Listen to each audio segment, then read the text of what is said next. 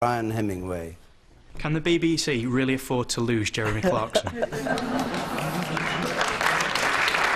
It had to happen. Jer- the reason that this question is interesting is because three quarters of a million people, according to the latest figure, have signed a petition calling on the BBC to retain his services.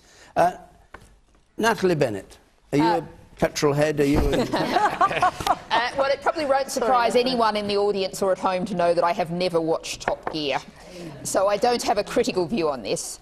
Um, I'm well aware that there's clearly an audience for this, but the BBC does have responsibility for the behaviour of its presenters.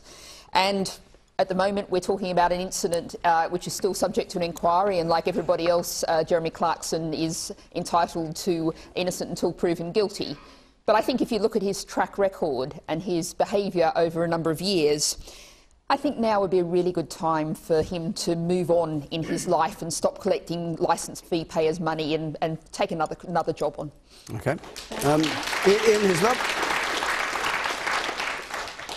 Me? You? You? Yes. Well, I'm the only other person who's been assaulted by Clarkson. Uh, he threw a biro at me live on Have I Got News for You, which stabbed me in the eye here. We had to stop recording. He refused to believe it was blood. He, he said it was red biro. And then he apologised afterwards. So, if he's going to be done for assault, And I was I there. want other offences. You were there. You were there as I was well. there. There too.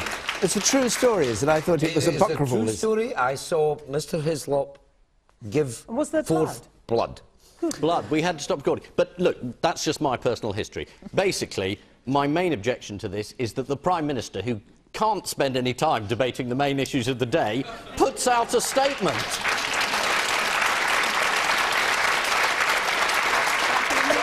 Yes. yes. there's a- Well, look, for me, this one's really easy. I mean, I think this guy should get the sack. You know, I watch Top Gear with my 10-year-old stepson every Sunday. I think it's a funny programme. He's a good presenter. But I'm sorry, over many years now, you know, this guy has proved himself to be, uh, to be sexist, to be racist, and now we find out this week to be violent. You know, in any other walk of life, if you were on a final written warning and you assaulted a subordinate, you would get the sack, and I think the same should apply to him. Well, the prime, your, your Prime Minister hopes it can all be sorted out because his, his children like Top Gear. and I like. I mean, Rex I've got. I've, Clarkson's a I like. and- I like Top Gear, and I What was watch the question? it all the time. Can the BBC really afford to lose Jeremy if, I think you, you know what? Dare I say it, David? David? But no presenter is ever bigger than the show, and all presenters are dispensable. I think it's. I, I, I mean, I, I, I, Not my show, it's question time. no, I know, but but there You is should that see often that Dimbleby fee- if the food isn't hot. Find But I out. think I live off cheese platters. I think, I think with Jeremy Clarkson, it is a real sadness because he's actually a very, very good presenter. He's genuinely funny. He does some great interviews, but he's also. The word sadness is pushing it Yeah, a bit, I know. isn't it? He's, The woman He's at the paying- back sorry, there. what I'm you- not- are he's you also- coming to, he's also paying the a great deal of our money. Can I just. Uh, I But think hold on, somebody no, as no, good as that, but he's just I an mean, idiot. You can't say he's not entertaining. He, loads of people tune in to BBC just to see him on It's Top true. Gear. However, how can they possibly keep him on after everything he's done? How can If they need to make that assaulted an Well, example? even with the Prime Minister's backing. No, he didn't. How back is it acceptable? You did back him.